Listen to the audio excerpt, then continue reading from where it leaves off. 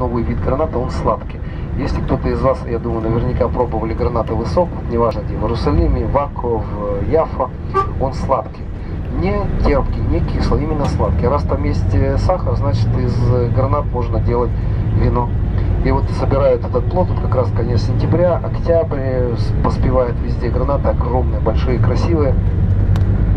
Кожуру очищают, зернышки складывают в какую-то емкость, начинается процесс брожения, и потом уже согласно всех законов виноделия